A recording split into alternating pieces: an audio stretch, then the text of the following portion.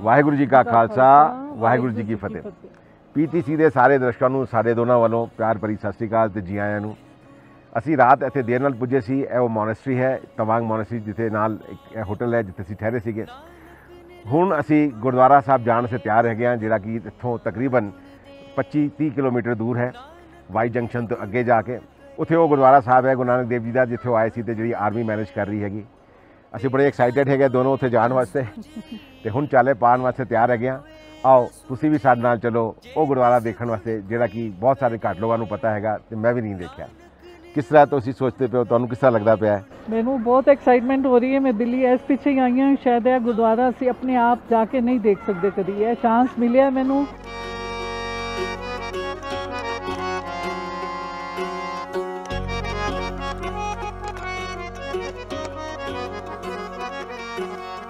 जप गोविंद गोपाल लाल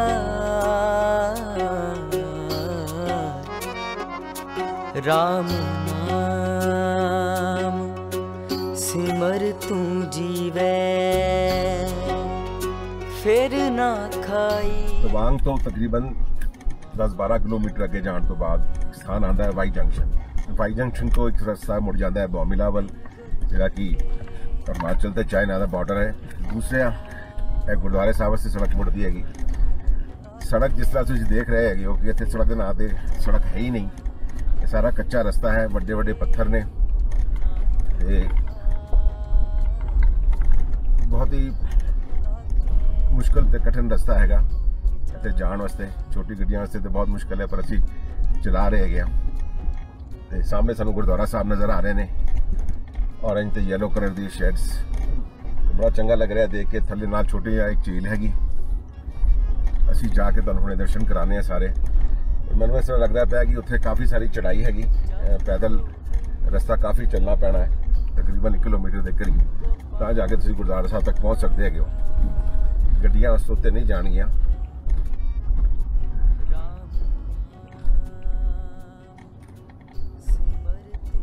ਤੇ ਗੁਰਦੁਆਰਾ ਸਾਹਿਬ ਠੀਕ ਵਿੱਚ ਪਹਾੜੀ 'ਚ ਬਣੇ ਨੇ।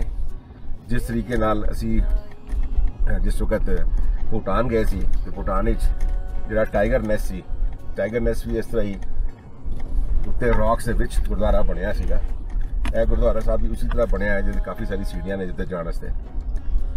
ਸੋ ਹੁਣ ਗੁਰੂ ਨੂੰ ਅਸੀਂ ਬੇਨਤੀ ਕਰਾਂਗੇ ਸਾਨੂੰ ਉੱਥੇ ਤੱਕ ਪਹੁੰਚਾਉਣ। ਉੱਥੇ ਜਾ ਕੇ ਤੁਹਾਨੂੰ ਵੀ ਦਰਸ਼ਨ ਕਰਵਾਣੇ ਆ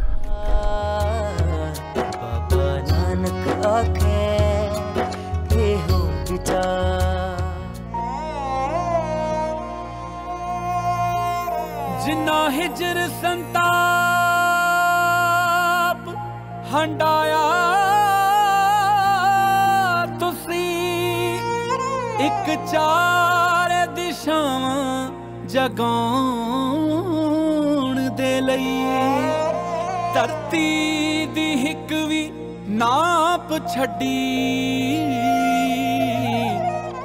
ਹੱਕ ਸੱਚ ਨੂੰ ਹਰ ਥਾਂ ਪਹੁੰਚਾਉਣ ਦੇ ਲਈ।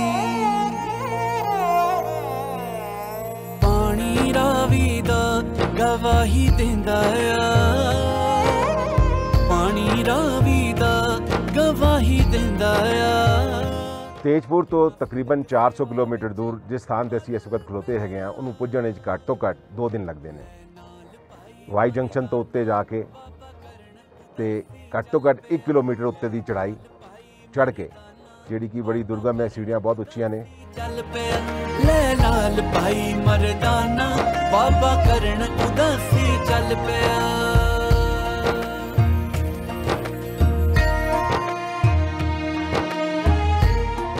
ਜਿਸ ਥਾਂ ਤੇ ਅਸੀਂ ਖਲੋਤੇ ਹੈਗੇ ਆ ਇਹ ਉੱਤੇ ਗੁਰਦੁਆਰਾ ਸਾਹਿਬ ਜਾਣ ਵਾਸਤੇ ਥਰਡ ਹਾਲਟ ਹੈਗਾ। ਇਸ ਤੋਂ ਬਾਅਦ ਸਿੱਧਾ ਉੱਤੇ ਸਿੱਧੀ ਚੜਾਈ ਹੈਗੀ ਸੀੜੀਆਂ ਹੈਗੀਆਂ ਉੱਚੀਆਂ। ਇਸ ਥਾਂ ਤੋਂ ਬਾਅਦ ਜੁੱਤੇ ਚੱਪਲ ਲਿਆਣਾ ਅਲਾਉਡ ਨਹੀਂ ਹੈਗਾ। ਮੇਰੇ ਮਿਸਿਸ ਨੂੰ ਡਾਇਬੀਟਿਕ ਫੁੱਟ ਹੈਗਾ, ਸੋ ਅਸੀਂ ਸਪੈਸ਼ਲ ਰਿਕੁਐਸਟ ਕਰਕੇ ਉਹ ਸ਼ੂਜ਼ ਪਾਏ ਹੋਏ ਨੇ ਉਹਨਾਂ ਨੇ। ਤੇ ਉੱਤੇ ਮਹਾਰਾਜ ਦਾ ਜਿੱਥੇ ਸਥਾਨ ਹੈ, ਉਸ ਤੋਂ ਪਹਿਲੇ ਅਸੀਂ ਚੱਪਲਾਂ ਲਾ ਦਾਂਗੇ।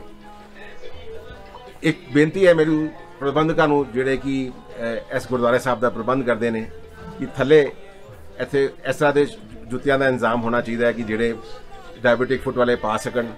ਨਾਲ ਕੁਝ ਤੌਲੀਆਂ ਹੋਣੇ ਚਾਹੀਦੇ ਨੇ ਪੈਰ ਪੁੰਝਣ ਵਾਸਤੇ। ਤੇ ਐਕਸਟਰਾ ਸਲੀਪਰ ਦਾ ਵੀ ਇੱਥੇ ਇੰਤਜ਼ਾਮ ਹੋਣਾ ਚਾਹੀਦਾ ਕਿ ਜਿਹੜਾ ਸਾਨੂੰ ਇੱਥੇ ਦੇਖਣ ਨੂੰ ਨਹੀਂ ਲੱਭਦਾ ਪਿਆ। ਲੰਗੇ ਕੱਲ ਤਾਂ ਸਾਰੇ ਤੁਸੀਂ ਤਾਰ ਦਿੱਤੇ। ਲੰਗੇ ਕੱਲ ਤਾਂ ਸਾਰੇ ਤੁਸੀਂ ਤਾਰ ਦਿੱਤੇ। ਅੱਜ ਆਉਣ ਵਾਲਾ ਹੈ ਕੱਲ ਪਿਆ। ਲੈ ਨਾਲ ਭਾਈ ਮਰਦਾਨਾ ਬਾਬਾ ਕਰਨ ਉਦਾਸੀ ਚੱਲ ਪਿਆ ਬੋਲੇ ਸੋ ਨਿਹਾਲ ਸਤਿ ਸ੍ਰੀ ਅਕਾਲ। ਆਫਟਰ ਆਲ ਅਸੀਂ ਪਹੁੰਚ ਗਏ। ਬਹੁਤ ਉੱਚੀ ਚੜਾਈ ਸੀ। ਗੁਰੂ ਦੀ ਓਟ ਆਸਰਾ ਲੈ ਕੇ ਹਰ ਸਿੜੀ ਤੇ ਗੁਰੂ ਦਾ ਨਾਮ ਜਪ ਕੇ ਉਸ ਸਥਾਨ ਤੇ ਆ ਪਹੁੰਚੇ ਹਾਂ ਜਿੱਥੇ ਸਾਹਿਬ ਸ਼੍ਰੀ ਗੁਰੂ ਨਾਨਕ ਦੇਵ ਜੀ ਆਪਣੀ ਤੀਜੀ ਉਦਾਸੀ ਵੱਲ ਆਏ।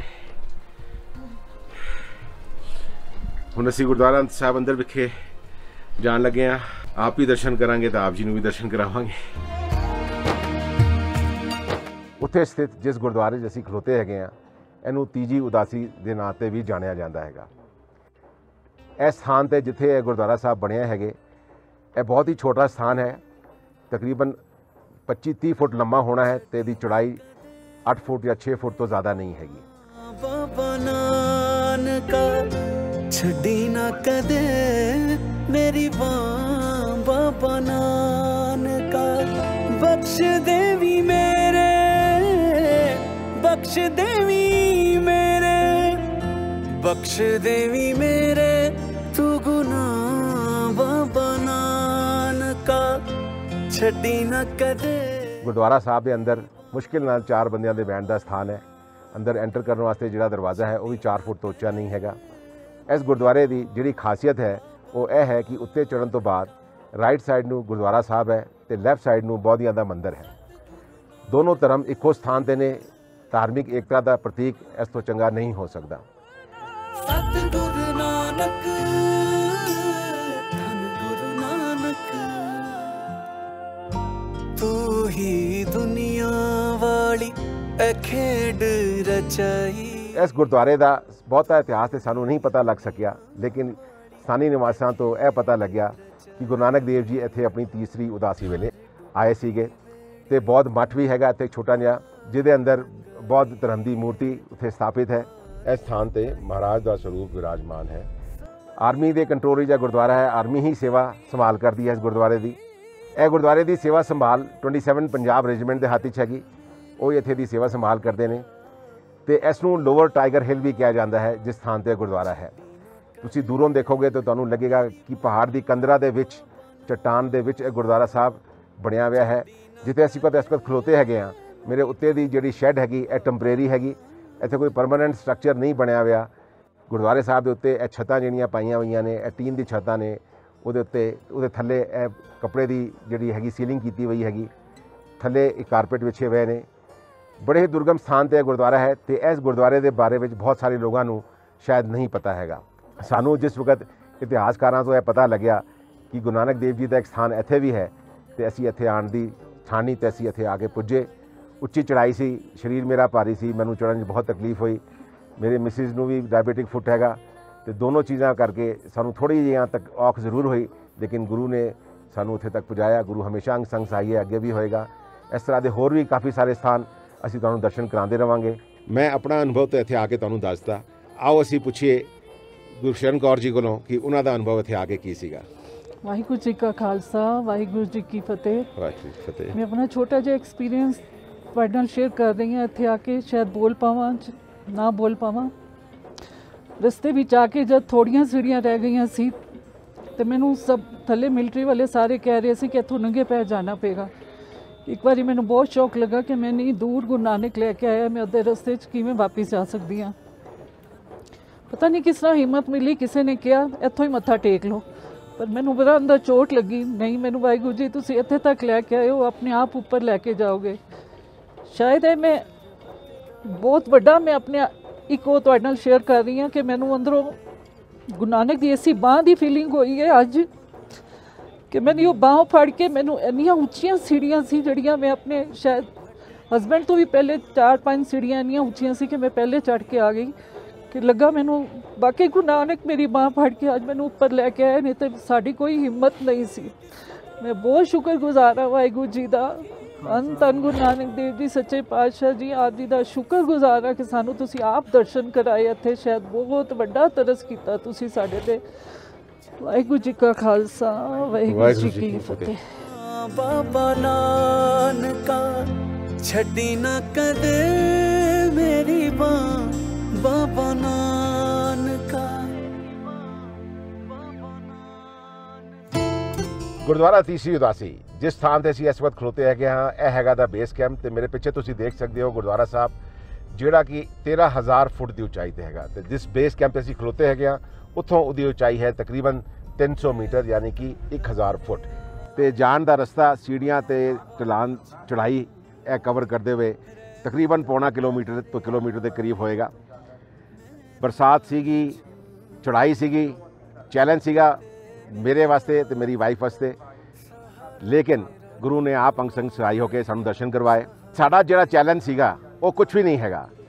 ਚੈਲੰਜ ਹੈਗਾ ਇਸ ਆਰਮੀ ਦੇ ਕੋਲ, ਸਾਡੀ ਇੰਡੀਅਨ ਆਰਮੀ ਦੀ, ਜਿੰਨੀ ਸਿਫਤ ਕੀਤੀ ਜਾਏ ਉਨੀ ਘੱਟ ਹੈਗੀ।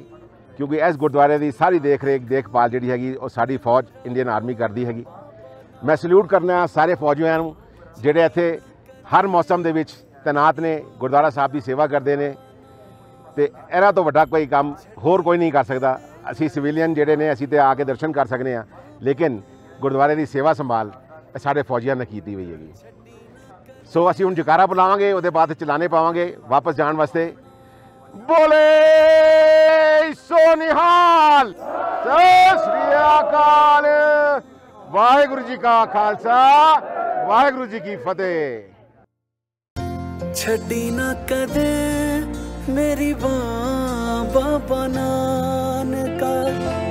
ਬਖਸ਼ ਦੇਵੀ ਮੇਰੇ ਬਖਸ਼ ਦੇਵੀ ਮੇਰੇ ਬਖਸ਼ ਦੇਵੀ ਮੇਰੇ ਤੂੰ ਗੁਨਾਹ ਬਾਬਾ ਨਾਨਕਾ ਛੱਡੀ ਨਾ ਕਦੇ ਮੇਰੀ ਬਾਂ ਬਾਬਾ ਨਾਨਕਾ